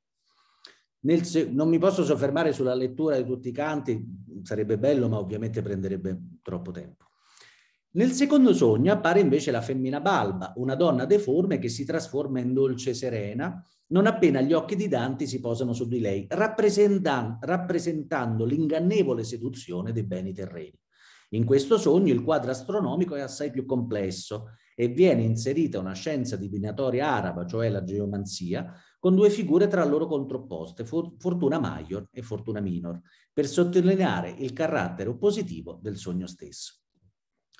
Infine, eh, prima del terzo, guardando, come Paolo già ha ricordato, le stelle più luminose del normale, data la rarefazione dell'area ad alta quota, la vicinanza al cielo, siamo sulla soglia del, par del, del paradiso terrestre, Dante contempla la sua prossima meta ascensionale, ovvero la sfera del fuoco, lì dove l'aquila del primo sogno sembra averlo portato. Le stelle, termine chiave che segna la fine dei percorsi relativi ai tre regni, sono adesso, sono ora oggetto di contemplazione, dove dal ricordo di questa scena scaturisce, nel momento in cui verrà scritta e quindi a viaggio concluso, una nuova conferma della qualità premonitrice e divinatoria dei sogni. Cito, il sonno che sovente, anzi che il fatto sia, sa le novelle. Purgatorio 27, 92, 93. In questo sogno si manifesta Lia, simbolo della vita attiva, che sarà di aiuto a Dante per fare finalmente il passo decisivo ed entrare nel paradiso terrestre uscendo dai pericoli infernali e purgatoriali. Se rileggiamo questi sogni, questi tre sogni danteschi consultando proprio il somniale Danielis, vediamo che aguglia sopra sé vedere onore significa, cioè la buona riuscita del viaggio, Femmine vedere morte significa, ovvero il pericolo in corso nell'incontro con la femmina balba. E fiori torre o cogliere, il nemico guardarsi significa. Come Lia infatti raccoglie i fiori e Dante può dunque guardarsi dai nemici e avanzare verso l'uscita delle discordie entrando nell'Eden. Nell'Eden, aggiungo, visto che Paolo ha ricordato Matelda, dove incontrerà Matelda che sta raccogliendo i fiori per farsi una corona chissà, una corona poetica o comunque Matelde, la realizzazione in visione del sogno di Lia. E questo credo che sia il collegamento che porta all'interno dell'Eden. Secondo il Somniane Danielis, come già visto in precedenza, abbiamo detto quindi che la, la, l'aquila significa odore, la, la, donna significa pericolo di morte e sognare, raccogliere i fiori, quindi è l'uscita dalle discordie. I simboli di questi sogni, l'aquila, la donna e i fiori, come fallia nel suo sogno, sono contenuti appunto nel somniale Danielis. Ma Dante non è l'unico a fare uso del somniale Danielis per rendere comprensibili a largo raggio, diciamo, i, sogni, i simboli dei suoi sogni. Molteplici sono gli episodi onirici nelle poesie di Cecco d'Ascoli, di Petrarca, di Boccaccio, e tutti rispettano le teorie onirocritiche classiche e medievali e propongono nelle loro opere simboli appunto oniromantici, cioè contenuti nel Somniale Danielis, con un impianto narrativo basato sui sogni e visioni. Insomma, la letteratura della nuova lingua volgare utilizza simboli facilmente riconoscibili dai lettori attraverso la conoscenza dell'interpretazione dei sogni per rendersi comprensibile appunto a un pubblico più vasto e su questo costruire la propria poesia e renderli piano piano meno semplici. Boccaccio utilizza il somniere Danielis nel Decameron, dove i sogni servono ad anticipare la seconda parte delle novelle dove sono inserite. Abbiamo già detto che possono anticipare parti strutturali della narrazione. Per esempio, la visione avuta dall'Elisabetta da Messina può essere analizzata come abbiamo fatto per danteschi. Ovvero la giovane vede in sogno il suo amato Lorenzo che le racconta di essere stato ucciso dai fratelli di lei e le indica il posto dove è sepolto e dove lei pre- preleverà la sua testa per averlo sempre accanto a sé. Nel somniale Daniele si leggiamo col morto favellare significa lite. Proprio la lite, lo scontro che avrà con i fratelli dopo la confessione in sogno di Lorenzo e dopo che essi scopriranno che lei conserva in un vaso di basilico il capo dell'amante. Nella novella successiva, Gabriotto, il quale non crede affatto ai sogni, Vede una capra e un cane e al risveglio, dopo aver raccontato ciò che ha visto all'amata Andreuola, muore improvvisamente. Per il somniale Danielis, capra vedere significa spazzamento, cioè col significato di essere spazzati via e dunque morire. Oppure cane vedere significa, nemici morte, eh, significa dei nemici morti. E ovviamente la morte sarà l'argomento che dovrà gestire la povera Andreuola nella seconda parte della novella. Il sogno di Talano d'Imola, che prevede il futuro pericolo della moglie aggredita da un lupo, la quale, non prestando fede alla visione del marito, va incontro alla propria sciagura, si ritrova nel somno di Danielis. A vedersi prendere da lupo significa trattamento d'inganno. A quella appunto della moglie per essersi dimostrata incredula e così va incontro alla sua tragedia proprio per non aver prestato fede al sogno del marito che prevedeva esattamente l'attacco del lupo. Un altro significativo esempio è Cecco d'Ascoli, già citato da Paolo, che nell'undicesimo capitolo del quarto libro della Cerba ragiona sul sogno e la sua relazione con l'astrologia, sul modello appunto bizantino e arabo. L'autore distingue tre sogni fantastici e contemplativi. I primi, scaturiti dai nostri desideri e dunque vaghi, come avevamo visto prima nell'insomma, quel che la mente nostra pur disia, e che corrispondono alle categorie di, Artimo, di Artemidore e poi di Macrobio dell'insomnium, appunto. Quelli contemplativi, di tipologia di sogno che dal cielo procede, coincidono con i sogni profetici delle categorie di somnium, vision e oraculum. Per questi è necessario conoscere la posizione della Luna nella costellazione presente al momento del sogno per valutare correttamente il significato della visione. Dispensatore dei sogni e Dio della poesia, vedete già l'associazione tra sogni e poesia, è Apollo, al quale il poeta Cecco d'Ascoli si richiama affinché lo renda disposto a comprendere come nasce il sogno. A questa invocazione seguono degli esempi presi direttamente dal somniare Daniele, come vedete nella slide perché chi sogna di gir nudo e scalzo, per lo gran fango questo gli dimostra, orribile peccato e non è falso. Nudibus pedibus ambulare, detrimento significa. Che di giacersi sogna carnalmente con madre o con sorella, tu vedrai che convien che in quell'anno sia dolente. Con madre concubere securitatem significat, con sorore concubere dapnum significa. Tutti questi manoscritti, chiedo scusa, tutti questi esempi sono, hanno un riscontro nella produzione materiale manoscritta, ovvero nella uh, Martelli 12 Fiorentina alla fine del, del XIII, inizio XIV secolo, dopo il somniale in latino e la prima volgarizzazione del somniale in italiano, ci sarà la vita nuova. Quindi il copista capisce evidentemente che un libro dei sogni può avere una funzione esegetica e dunque interpretativa della letteratura stessa. Nel Rossiano 947, alla fine della copiatura del Decameron, c'è il libro dei sogni di Daniele, e a questo manoscritto, la Sburnam 1724 della Lavenziana sempre di Firenze, copiata la, eh, la cerba, alla fine il copista aggiunge esattamente questo somniale. Quindi come vedete sia a livello letterario di associazione tra letteratura e sogni, ma anche a livello materiale, e cioè il copista, i sogni vengono subito dopo o prima la letteratura. Perché? Perché se uno riesce a interpretare i propri sogni, riesce dunque a svegliarsi, ad avere quindi coscienza di sé. Come quando si legge la poesia, ognuno di noi ha la sua forma di interpretazione, ma se riusciamo a interpretarla, entriamo in contatto col significato che l'autore ci vuole dare. Per concludere, abbiamo visto che durante il Medioevo l'uomo è riuscito a implementare le sue conoscenze, approfondendo l'immaginazione onirica, intesa come risorsa umana per tentare l'evoluzione spirituale e il congiungimento con le sfere celesti. Dante chiaramente ne è il rappresentante più significativo in letteratura e filosofia e altre scienze o altri saperi.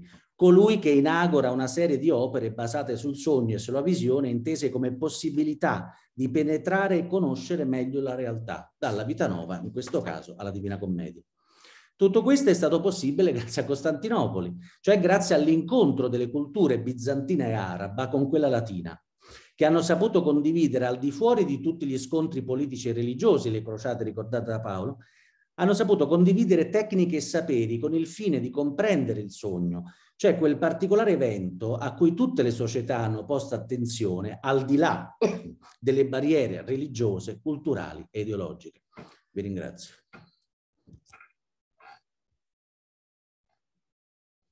Come si fa? Così. Grazie mille. Eccomi. Eccola. Eccomi qua. Dunque, eh, ovviamente io ringrazio tantissimo il professor Cappozzo per questa relazione per me veramente interessante devo dire anche illuminante, visto che tratta un argomento apparentemente così eh, vicino a ciascuno di noi e poi invece eh, ricco di tutti questi risvolti che eh, probabilmente nessuno di noi pensa, no? se non eh, quando dovesse essere, come nel suo caso, un esperto, uno studioso di tutto questo. Io volevo, mi permetto di, di diciamo, di, di, come dire, di, di, parlare, di fare una domanda prima di tutti gli altri. E le chiedo, professor Cappozzo, ma eh, Dante più volte definisce la sua commedia la visione. Immagino che dietro questo ci sia ovviamente un discorso molto lungo, molto complesso, eh, ma le chiedo, quindi la visione possiamo intenderla nel senso dell'ultimo o del penultimo, non mi ricordo più, eh, valore gerarchico da dare ai sogni. Secondo lei è così? Eh, magari se ci può illustrare, insomma, come la vede questa faccenda. Grazie. Grazie a lei. È senza dubbio così, perché abbiamo detto che l'oracolo e la visione vengono, eh, il messaggio profetico viene dato da personaggi importanti, abbiamo fatto l'esempio, no? In questo caso Virgilio e tutti coloro che verranno incontrati da Dante sono personaggi importanti, cioè nel senso che sono anche in un luogo importante, per cui in questo caso Dante segue anche i precetti dell'occupazione, cioè vuol dire se il sogno dipende dove il sogno viene fatto, se il sogno viene fatto in un luogo sacro avrà automaticamente un significato sacro. In questo caso lui ovviamente lo fa nell'aldilà, nell'aldilà cristiano, per cui è senza dubbio una visione con un valore. Non mette in discussione questo, ma c'è da aggiungere, da sottolineare l'ambiguità, mi permetto di dire poetica, tra sogno e visione, cioè l'utilizzo della parola visione, l'utilizzo della parola sogno nelle loro declinazioni latine o italiane, chiaramente è assolutamente ambiguo. L'uno per Dante vale l'altro, infatti la domanda secolare è sempre stata ma la Divina Commedia è un sogno o una visione? E credo che la risposta vada trovata nell'incontro dei due e non nella definizione statica dell'uno e dell'altro. Bene, la ringrazio. Eh, se qualcun altro volesse fare domande può eh, usare sia il tasto delle domande e delle risposte ma anche la chat eh, ci prendiamo qualche momento per, per, vedere se c'è qualche curiosità che qualcuno volesse fare, altrimenti per i nostri invece eh, panelisti potete tranquillamente attivare l'audio. Io volevo solo fare un'osservazione, volevo ringraziare Valerio per la bella relazione.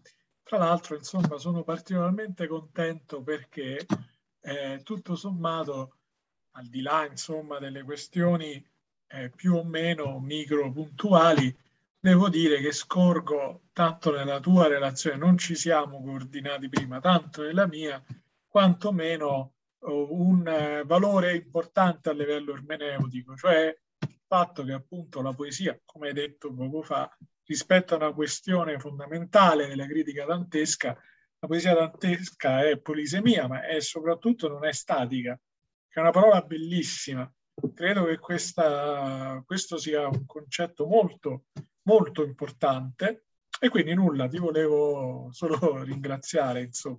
No, è un argomento più importante. Tu hai detto tante cose interessanti che possono essere vicine all'esplorazione nautica del sogno, no? Voglio dire, esatto, eh, esatto. Sì, perché tu hai parlato di geografia come spazio quotidiano, io ho parlato di sogno come quotidianità degli eventi. Sì, sì. Cioè, e, capisci, il discorso è questo, cioè la poesia, questo, sì, sì. La, l'associazione tra poesia e sogno, e quindi lì, i, due, i due campi indefinibili, sensibile e concreto, ma questo concreto che però non si concretizza nell'analisi. E allora bisogna, come dice Leonardo da Vinci, a volte che aveva il Somniale Danielis nel, in tre edizioni latine e volgare nella sua libreria, by the way, ma insomma bisogna chiudere gli occhi per cominciare a sviluppare e a vederci meglio. Ecco, vedete, credo anche questo, come ha detto Paolo, bisogna anche sbagliare la geografia per poter arrivare alla metafora e bisogna chiudere gli occhi per vedere meglio una realtà. Questa è la poesia di, io credo, di fine medioevo.